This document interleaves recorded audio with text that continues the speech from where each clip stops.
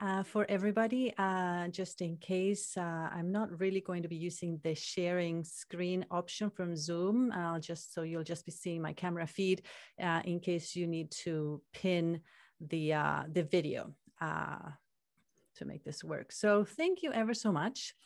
And today I have a little bit of a tongue-in-cheek presentation for you that is titled The 12 Ways to Fool the Masses with Irreproducible Results. Of course, um, most of you will be familiar with the original, which was David, David Bailey's original 12 Ways to Fool the Masses when giving uh, performance results on parallel computers.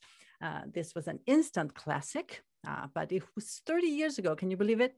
Uh, this is a time when uh, supercomputers, um, you know, the debate was whether the superior kind was the two oxen Cray machines uh, versus the thousand chickens systems. Um, we didn't have parallel standards like MPI. Um, there wasn't even a top 500 list at the time. But everyone was excited about the potential of these new parallel systems, and each vendor claimed that their system was the best showing sometimes cherry picked demos. Uh, standard benchmarks were not yet a thing. So it was like the Wild West. Now, David Bailey collected his pick, his chosen schemes for presenting results to artificially boost performance claims. Uh, he and others presented, presented updates on this uh, list of tricks. And notably uh, was George Hager's series of blog posts that started in 2020, 2010. Uh, he discussed 16 such items, such he called them stunts. And this material really on his blog post could make an excellent complement to any journal club on high performance computing. And it's highly recommended for all graduate students who, after all, are who keep us honest. So Scott, Scott Pakin, uh, also uh, who I had the pleasure to work with uh, in the SC19 Executive Committee, wrote a new take on what he called the scientifically dubious techniques to artificially inflate the performance benefit of GPUs. Uh, at the time, 2011, if you recall, this was a time when some marketing teams of the top vendors were really going at each other. And um, surprisingly, some of David's um, uh, ways to fool the masses were relevant even two decades later, starting with the first one, which highlighted how uh, GPUs, uh, GPU results were often silently run with single precision to claim double the performance numbers. So in this talk, I want to take a new twist on the ways to fool the masses, focusing on how researchers, researchers in computational science and high performance computing miss the mark, let's say, when conducting or reporting their results with poor reproducibility.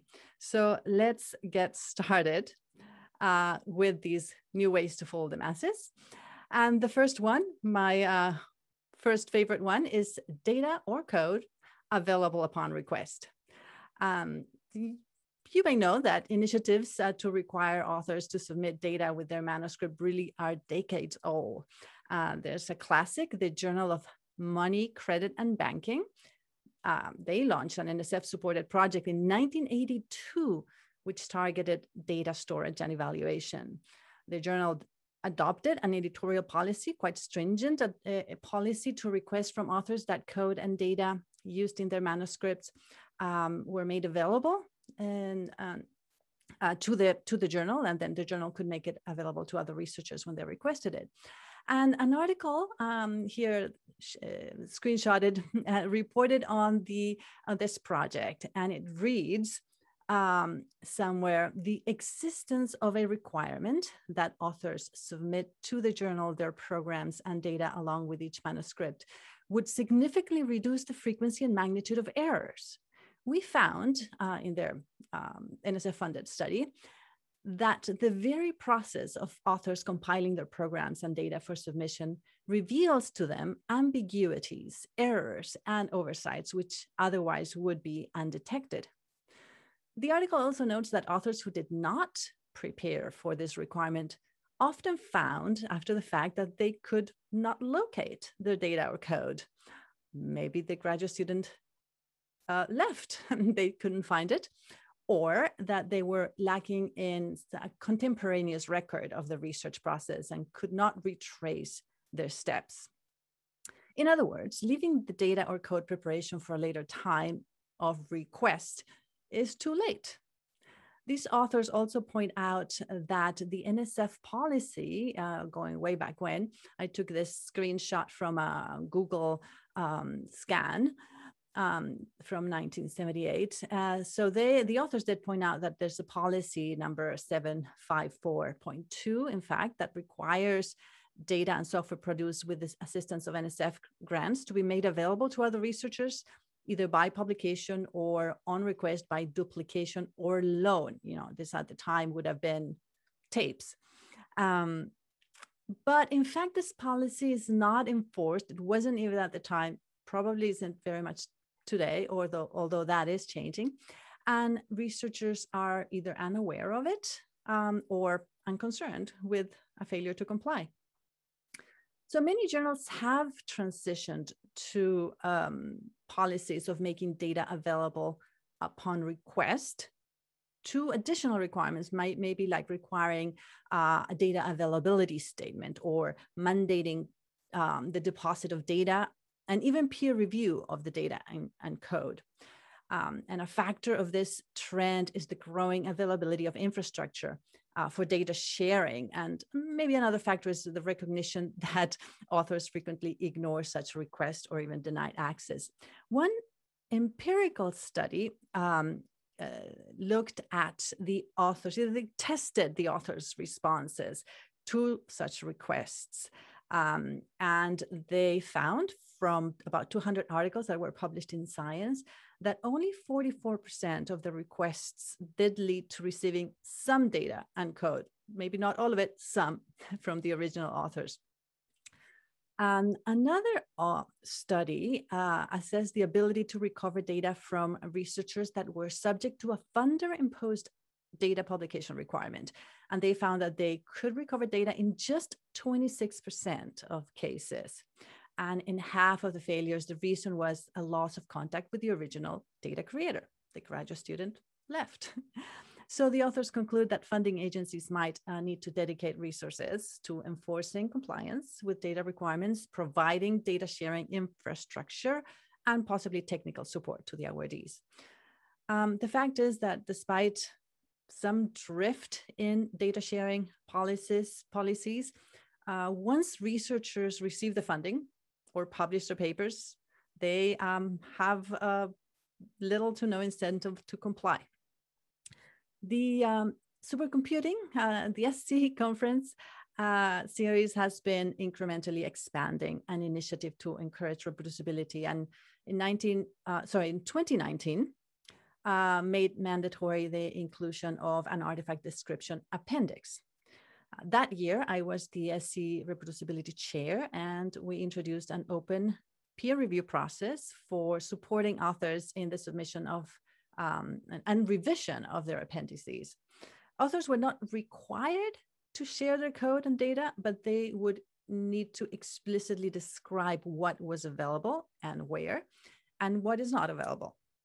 And uh, they were also guided to describe their experimental setup with a, you know, standard template that would have granular questions about hardware details, OS, compiler, application, uh, libraries, key algorithm, and data sets and things like that. So with granular questions, then um, the authors would be better guided to produce this uh, appendix.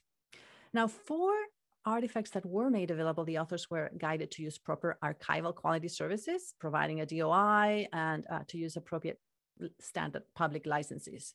For SC20, uh, a community sentiment survey sought to assess the impact of this initiative and uh, on the community. And a majority of respondents who were went through the process uh, did say that they now think differently about theirs and others' research after going through the process. And a good portion of them said that they actually have used the appendices that um, were published by others.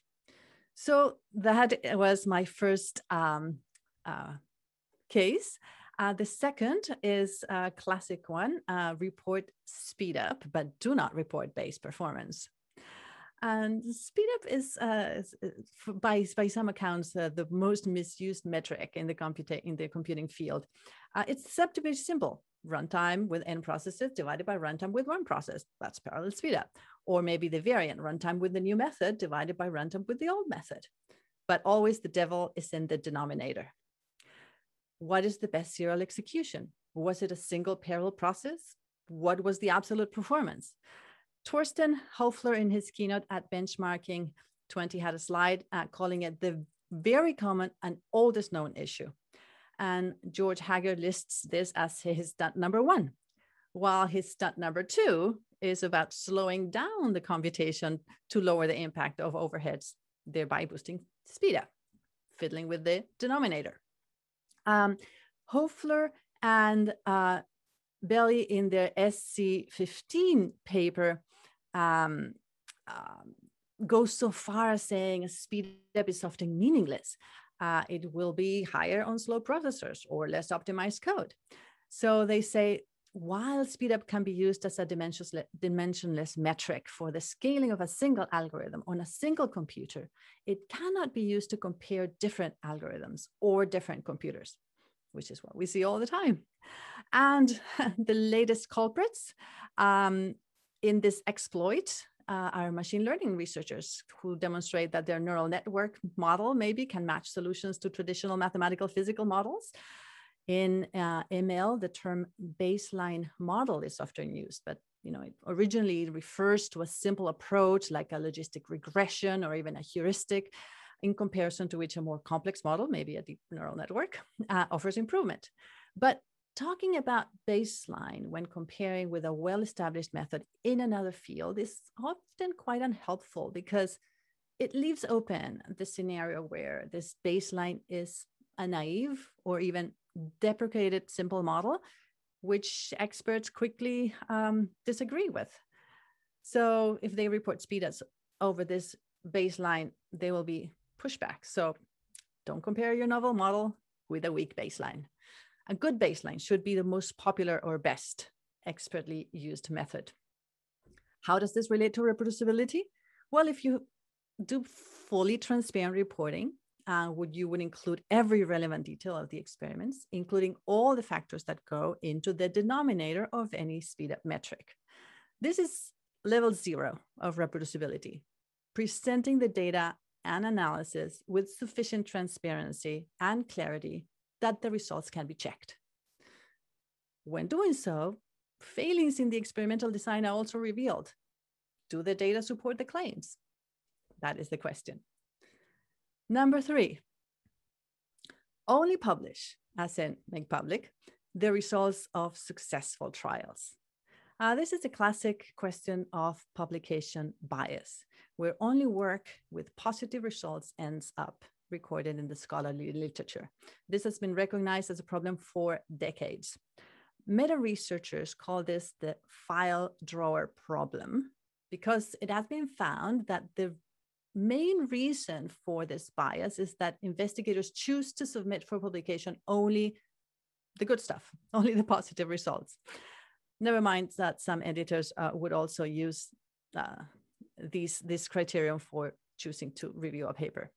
So this this was particularly affecting the um, clinical research and empirical sciences that use null hypothesis statistical testing, but computer science is not immune.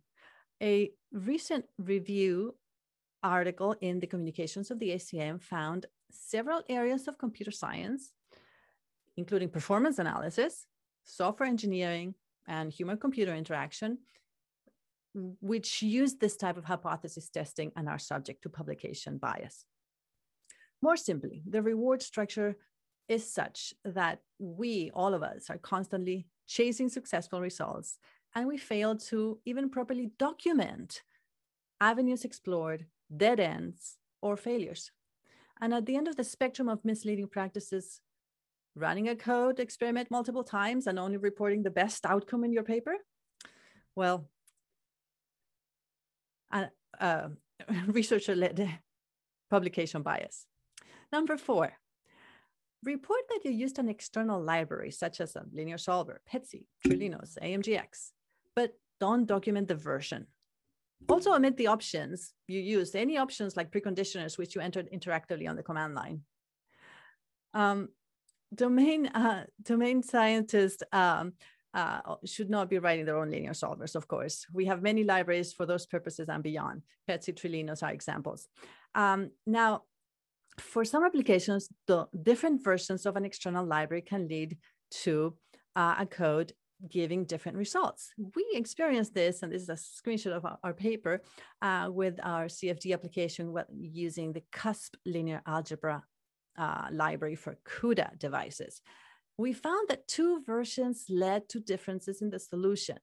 We actually had to use the bisection method on the revision history of the code to be able to pinpoint the issue that was a refactoring of the smooth aggregation preconditioning in the uh, algebraic multigrid solver. And David Bailey also often quotes an example from uh, analysis of uh, collisions in the LHC. And they found that changing an underlying math library resulted in some collisions being missed or misidentified. So computational science articles often do mention the library used as a dependency. They might include the reference um, in the references list. Um, maybe a user manual or the main article uh, about uh, that library, but seldom document the version of the library that was used to generate the results. Well, you know that you could be using Docker or Singularity to provide software build recipes with all the dependencies, but this is too much work somehow. Um, so in fact, there's one more reason, more than one reason to document uh, your complete software environment programmatically using Docker or Singularity. Uh, because on top of preserving a complete um, software recipe, um, you facilitate any interested reader's ability to install that stack, avoiding so-called dependency hell. Um, so um, uh, this is a the typical situation that uh, arises also is that you have command line arguments and those command line arguments um, can be entered, uh, you know, should be saved uh, properly. Otherwise, they are completely lost in the shell history. And reproducible research requires that you script all these execution calls and preserve in text files all the options and parameters, ideally also under version control. So next one, to showcase your parallel framework um, or your new machine, great machine, take a simple problem and scale it to a large system without checking if the application may be saturated in accuracy at a medium scale and the rest is just heating up the atmosphere. Um, say your demo is a, a partial differential equation um, in two dimensions, and the solution method is a traditional finite difference scheme. A computational scientist's first step in the situation would be to do solution verification by refining the computational grid twice to get three increasingly more accurate solutions. Then you can you know, compute the observed order of convergence and check that it matches the theoretical order. If it doesn't, if it does not, then you have a bug in the code. And um, uh, or maybe the grids are still too coarse and they're not in the asymptotic region. And one can also use this method to compute how much the solution would change with a further refinement of the computational grid. And you can estimate the grid's resolution required to obtain a desired level of accuracy. Needless to say, if the computations are carried out in IEEE 64-bit floating point arithmetic, any refinements of the grid beyond the scale that gives that level of accuracy is just heating up the atmosphere. It's unwarranted. Um, or maybe it could make things worse because indeed uh, scaling up applications has consequences on the accumulation of error.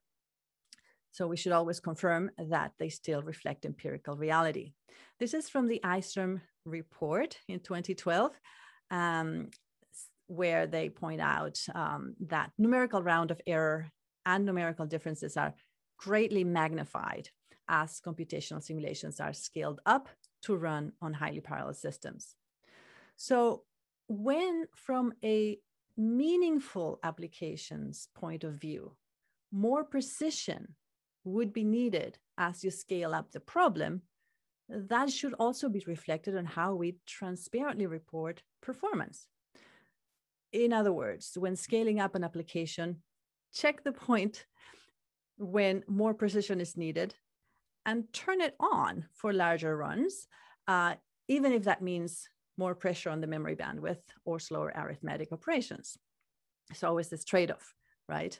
Uh, in fact, in some applications, in some areas, some domains, uh, people use double double uh, for some of these reasons. So, next one. Uh, faced with a small change, this is contributed, is an anti pattern contributed by Mike Heroux. Faced with a small change in floating point results of the test, say a difference with a golden file or a trigger of a threshold failure uh, for a residual test, Instead of looking for the source of that change, replace the golden file or relax the tolerance to make the test pass. Um, as mentioned in the previous scenario, numerical precision becomes even more important at large scales. In some areas of science, teams use uh, this idea of golden master testing. And so they have golden files or a reference expected output against which the results of the code are compared after any refactoring or changes. So this is this is really a common practice when dealing with legacy code. And this form of testing depends on strict numerical reproducibility. If the, the test will not pass if the situation changes with respect to floating point error, for example, after scaling up the computations. So if the team has chosen this form of testing, they should stick to it. If the tests fail, investigate the cause. In fact, sometimes the careful investigation of these vexing numerical variations can lead to valuable improvements. An example from climate model, modeling. Here's a citation. He and Ding, 2001. They discovered that they could improve the numerical stability of the simulations and ensure reproducibility by using double double precision in just two key inner loops and using Kahan summation. Um, so this is also a recommended reading. Next one.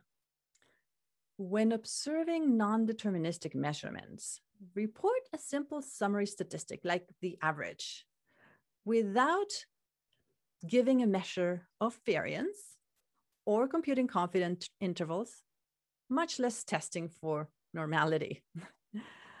um, a single summary statistic can be used for deterministic data, such as the number of floating point operations. Execution times are rarely deterministic. Uh, this paper by Hof, uh, Hoefler and Belli uh, at SC15 gives an example. Suppose that you made 50 runs of the HPL uh, benchmark on 60 nodes of your center's big machine, and they show a wide variation of run times. So they, this is the plot that they show in, in their paper as an example. And they say, well, you know, you can see there that if you reported the minimum runtime, well, obviously that would be misleading. So you report the average instead. Well, that sounds fair, but this obscures the fact that variability exists. Uh, on their literature review, Hoefler and Belli uh, in this paper report that they found that um, most papers that they looked at reported non-deterministic data, um, but only 2% more or less reported confidence intervals around the mean. In that case, they didn't go so far as to test for normality. So, in reporting a measure of central tendency like the mean or the median, we should be careful that they represent the results well. One might want to show the distribution, like in this plot, or give um, several stats max, min, median, percentiles. But the key is providing the underlying data and the analysis code in an archival repository. Then uh, uh, it can always be checked. And also shifting the focus to the distribution of measurements rather than a simple summary statistics is, is good for reproducibility because now the assessment that we make, whether the results are consistent, uh, can refer to an appropriately fuzzy target, not you know just one number that you're never going to match. So the next one, report your performance benchmark describing the machine simply in terms of the number and the model of the processors. uh, nodes or accelerators. And we all just want to know how many and what brand of hardware you use, right? Well, not so fast. when um, performance is key to the findings in a paper, these details, many details matter. The network topology of the HPC cluster, for example, can have a major impact on the um, distributed computing performance. This is uh, George Hag- Hager's stunt number six. So you should describe all details in the cluster architecture, the file system, whether it was had a dedicated data node, the I/O auxiliary system, so on. Um, sometimes the set of nodes that the scheduler the, the scheduler um, sends your run to affects the runtime. Check the last item. If you have um, non-deterministic results, you should report that. I mean, you know, there could be you you all know, you know, you send the run and it, you know, it ends up in nodes that are in a different um, switch or portion of the network, and things change, uh, affect runtime. So you should include this variation in your reports. And similarly, usage conditions of the cluster. For example, if the, you run your exam uh, uh, simulations in a quiet machine or you had simultaneous users, that can affect performance. Now, you may think that the job scheduler is assigning you to a dedicated node for your run, but this could be false because some users somehow always find some backdoors to the schedulers, or these have they have bugs as well. Um, plenty of times we find those situations, don't we? Next one.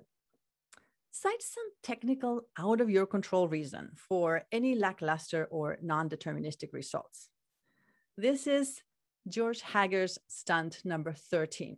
The mysterious reasons that you can give for any unexplained discrepancies that include compilers optimization capabilities, prefetching, out of order execution, any other hardware features, unexplained cache misses, or even the, the, the kicker, bank conflicts, OS noise and jitter. So don't attempt to confirm and you know really explain the observation. Just name something that is completely misunderstood by your readers, and they will um, plow through. With a long list of these obscure reasons, um, you can speculatively cite for behavior that you cannot explain. The results are going to be harder to interpret and impossible to reproduce. Next one. Showcase your deep learning model's impressive speed up compared with a traditional model, but only count the time for the forward evaluation of the network. No need to report training time or the cost of generating the training data. That's offline after all. The explosion of interest in machine learning and science uh, is like the wild west of supercomputing all over again, um, from the Bailey's original ways to full. Uh, one pattern that we see more and more is to report speedups. See George stunt number one. And comparing the forward evaluation of a neural network model with a traditional model, say a finite difference solution to a partial differential equation. Now, these articles nearly always, always neglect to report the time it took to train the network. Um, they may have the reasons, probably they did not consult with that computational scientist. Now, forget about all the extra time used to tune hyperparameters. That's absolutely um, no need to report that. Now, sometimes the training data was generated by running the traditional model a hundred and hundreds of times, and this is also glossed over. So this practice really compounds several um, things. There's more than one way to fool the masses here. First, the use of speed up to compare two different models is highly prob problematic. Um, the poor reporting really makes the results impossible to fully interpret or reproduce. This idea of the baseline as a naive or even obsolete algorithm. And finally, the limitations of the learned model are sometimes ignored or even not discussed. Uh, forget that it doesn't work if you change the boundary conditions or things like that. Next one. Put the code on GitHub the week before submitting the manuscript or presenting at the conference. You share your code, that's great. But several things can go wrong with this pattern. Uh, the zero order uh, is um, if you're putting the code on GitHub just to satisfy requirements of the journal or conference, but you're not developing in the open model, then you probably don't have the full version history of the code that allows you to know exactly what version produced the results. And you're also not benefiting from the quality assurance process that teams adopt alongside with open development, the use of branching models, issue tracking, review of pull requests. Um, second, in this pattern, it is likely that you are including in your paper the URL to the GitHub repository as evidence of code availability. But this is not enough. Anyone can delete, the owners, of course, can delete their GitHub repositories later on. So the only way to prove that the software will be persistently available is to make a full deposit in an archival quality service like Zenodo. Uh, this is easy with the Zenodo GitHub integration right now. So good practice is to issue a tagged release on GitHub with the version used to generate the results presented in the paper, archive that release on Zenodo, and list the archive DOI in the paper. Bonus points for submitting the software to the Journal of Open Source Software. Uh, if you haven't yet looked into that, JOSS, the Journal of Open Source Software, uh, will carry out peer review on the software. And uh, oftentimes it will lead to higher quality software for research. So that leads us to my last one for today, which is the same as Bailey's 12th way. Uh, include lots of pretty pictures in your paper, but not the scripts that generated them. This is, uh, as I said, Bailey's 12th way, and it's also related to Hager's stunt number 11. He says uh, five pages of busy bar graphs will go a long way to the 10 page limit. And um, so, question for the audience Have you ever found yourself digitizing a plot from a published paper, like literally using mouse clicks to try to digitize um, uh, plots? Uh, I, if I had a poll, I would be interested in the results the i we've done it many many times and that is because people are not um, publishing with the figures the underlying secondary data behind every point in that figure and the scripts that generated the figures so with that uh, final ways to fool the masses i just wanted to share with you some uh, what the uh, reproducibility checklist that we have in our group. This applies for computational science. Maybe it doesn't apply to all of you, but uh, if you do computational science like we do, I hope that you will be inspired. This is our standard. Um, all code and application is developed under version control, uh, under version control system. We use Git. All code and applications are developed in the open on GitHub. Um, the code and application relies only on open source dependencies. The code repository contains detailed installation instructions and user-facing documentation. The computational environment is programmatically captured in Docker files or a Docker image. Uh, files to recreate the image uh, of the computational environment are shared on a public repository as well. The image of the environment is shared on a public registry like Docker Hub even Zenodo will take your images. Um, optional, number eight, uh, is if the machine disallows Docker, which often happens in shared systems, of course, because they need root, uh, Docker wants root access, then you can instead consider using the Singularity container technology because Singularity also understands Docker images. And so um, um, everything works. Number nine is a bonus as well to use a cloud service to submit and run the simulations. In this case, uh, we have a paper where we extend the idea of reproducibility to um, um, scripted and um, uh, definitions of the cloud environment and um, share those as well as uh, files that can be inspected and reused by any interested reader. Number 10, simulation inputs and parameters are documented in text files that are shared on public repositories. Number 11, the code repository is released, released, as I mentioned earlier, and uploaded to Zenodo to get a DOI that you can cite in your paper. Uh, this release should be the tagged release um, corresponding to the results that you report in the paper. Um, well, that's number 12, tagged release uh, with the results in the manuscript. Number 13 is we also are writing all our manuscripts in the version control system. So in our GitHub group, GitHub, um, you'll find our LaTeX uh, uh, asset develops. And our bonus um, is to do that in the open. So it's not a private repository, it's actually um, public. And um, number 15, the manuscript reports the hardware and machines used for the computational simulations in all its gory details. Number 16, the figures included in the manuscript can be regenerated. Uh, the plot scripts and all the necessary secondary data are shared on our repository and easily downloadable, downloadable by any interested party.